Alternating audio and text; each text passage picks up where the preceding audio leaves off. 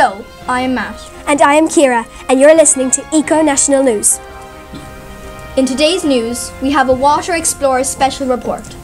The girls from Convent Primary School Kanturk are celebrating a famous international win. Hello, I'm Haggart, and as you can see behind me, the girls are going wild. They're celebrating their International Food and Water Prize. This is Haggart reporting live. Key news a serious crime has been committed.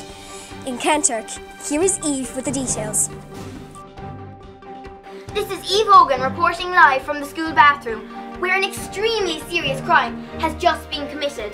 Someone has unnecessarily flushed the bathroom toilet, wasting 9 litres of precious water. Not only that, but to make matters worse, the tap has also been left running. Sorry there, Gardamore. Well, have there been any developments? Well, thankfully, we have the criminal under arrest. Wasting water is a serious crime. Thank you, Gardamore. I definitely agree with those important words. Well, that's all from me. Back to you in the newsroom, Kira and Matt. Thank you, Eve. Our next report is about children helping children.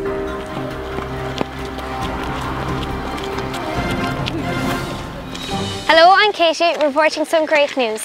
Money donated from our school has been used to buy new pipes and gutters for rain harvesting in Corrie Primary School, South Africa. You are listening to Eco National News. Oh, sorry.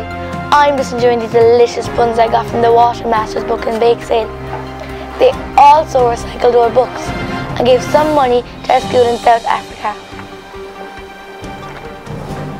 By the way, it's raining here in Ireland.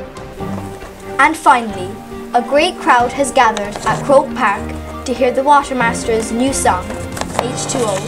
Here is Kira. We're live with the Watermasters as they sing their song H2O. Cause I'm the Watermaster and I love the blue sea. One, two, three, the arms